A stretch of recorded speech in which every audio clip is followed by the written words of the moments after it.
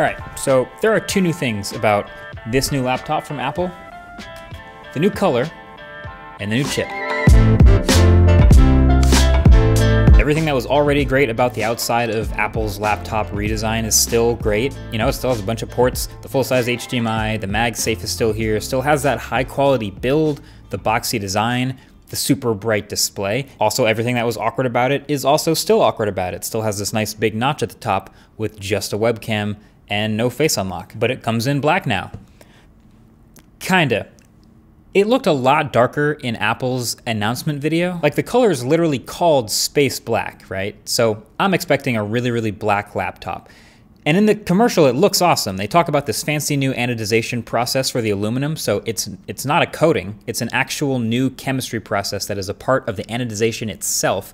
It's supposed to be extra fingerprint resistant. But now that we actually have it here, in reality, it's I mean, it's darker, but like it's it, still it's just a little bit darker than the other space gray from before. If you want to see a black laptop, this is a black laptop. Like they make black laptops already.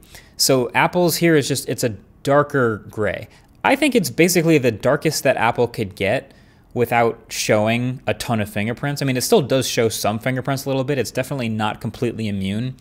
But compared to some other black laptops I've tried, it is better than those. So it's somewhere in the middle of not so many fingerprints, but also darker than normal. It's it's fine. It's it's darker, which is nice. Like some some camera angles it hits, it really looks dark, but you get the idea. Um, it also, if you're curious, it also comes with black Apple stickers and it also comes with a black MagSafe charging cable. But also that braided cable is darker than the end and it also comes with a brick that's still white. So I wouldn't say they've fully committed to the space black theme quite yet. I'll give them partial credit.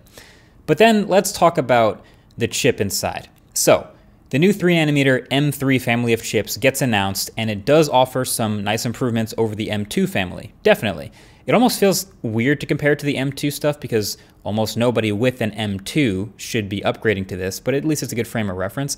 So I've been testing the absolute highest end M3 Max in this laptop, which from the M2 Max goes from a 38 core GPU to a 40 core GPU, and from 96 gigs of shared memory to now up to 128 gigs. CPU wise, Apple's claims were about right. You know, somewhere in the 20, sometimes 30% improvement range over last year, which is very respectable. And actually, it's a bigger jump in single core performance than I was expecting, which is awesome for, you know, just the daily use, the quick, snappy, everyday computing, browsing type stuff. And then GPU wise, this is where more people were hoping for a little bit of a bigger improvement. And again, it is a respectable bump.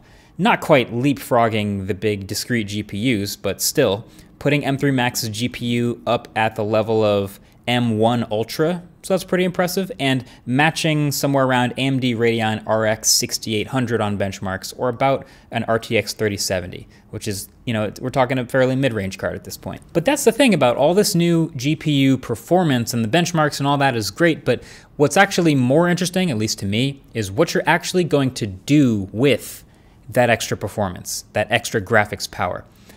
And for a laptop like this, that's typically games or high powered graphics related applications. So, yeah, when you see that powerful new GPU in a laptop with new hardware accelerated ray tracing for the first time in a Mac and the mesh shading and all that, probably the first thing you think is gaming. But then you realize it's a Mac, so probably not gaming. But really, I think the reason, at least in my head, that most people don't associate gaming with Macs is not because they're not powerful. I mean, they're they're not as powerful as the highest end discrete GPUs, but they're not bad. It's just because the games that people play and are enthusiastic about are often not available on the Mac. Like I'm not even a big PC gamer, but you already know if you want to play The Witcher, the new Fallout, Skyrim, Crysis, Apex Legends, like there's a long list. And if you want to throw maximum GPU power at that game to play it in the best possible quality, you're looking to optimize a PC, not buy a Mac. So I actually think, and I think it's maybe worth an entire separate video, maybe let me know if you're interested, but I think gaming on the Mac is in an all-time interesting place right now. Because again, lots of games are not available on the Mac, but this is the most powerful Mac that's ever been made. And I've been playing with some of the games that Apple likes to show off, like in the App Store. They're like, guys, we have games there's lots of games and they're really good and they're they take advantage of the new stuff. I've been playing this this game called Lies of P. It's one of the ones they talked about in the keynote, and it takes advantage of the hardware accelerated ray tracing. You can see it in the reflections and, and on the floor and in the sword and everything. It plays amazing. Like it looks great. Frame rates stay high. I'm playing at 4K resolution. There's a visual depth and, and detail that's beautiful. Plus, macOS Sonoma has the gaming mode, which is allocating as much power as possible to this game. It also lets you use a Bluetooth controller with way faster sampling and lower latency. And so just maxing out everything works great. It's an awesome playing experience. I was very impressed. I just don't care about this game. Like, I'm not invested in that particular game at all. It was fun to play the demo, and I was impressed with the actual moment of the computing. It would get a little warm, and the fans would spin up, but the fact that it would work on those max settings is amazing. I just don't, I'm not invested in that game at all. And I think that sort of encapsulates the way I feel about all this extra GPU power is like, you could use it for gaming, but if you're gonna buy a computer for this much money to game, you're not buying a Mac. But then again, of course, this is a pro uh, laptop. It's a MacBook Pro. And so there are lots of other non games that take advantage of this extra GPU power and of this new hardware accelerated ray tracing and the mesh shading and all that. Things like Cinema 4D. And this laptop with this chip is better than ever at all that stuff too. And I think we're actually going to slowly start seeing even more apps on the Mac take advantage of this stuff as time goes on. But my conclusion was okay, look, when the event happened, I watched it in that last video you can see in that hotel room, and I was very excited about it. It got announced. I saw a new matte black MacBook with a new chip, and I thought that that new color on top of that new chip would be enough for me to go, all right, you know what? It's finally time.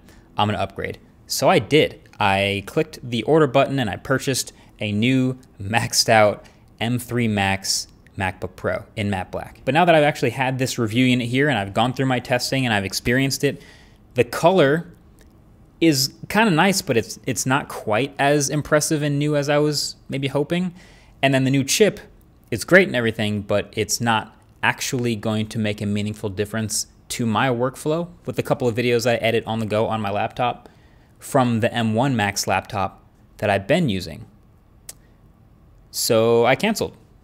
I logged in and I canceled my order and I will continue to daily what I have for the past, I guess, three years now with the M1 Max 16-inch MacBook Pro. Turns out it's not for me. Well, I mean, I guess it is a high-end matte black laptop, so maybe it is kind of for me, but I think the point I'm trying to make is if you already have an M family chip MacBook in the tier that you want, meaning if you have an M2 Pro or an M1 Pro, M3 Pro is not going to be the huge difference for you. If you have M2 Max or M1 Max, M3 Max is not really for you. This is, like any other spec bump, far more for people with older machines. You didn't need to hear me say this, but it's true. For people with older machines, with Intel machines, uh, or with machines in a different tier where this would really unlock something new in their workflow.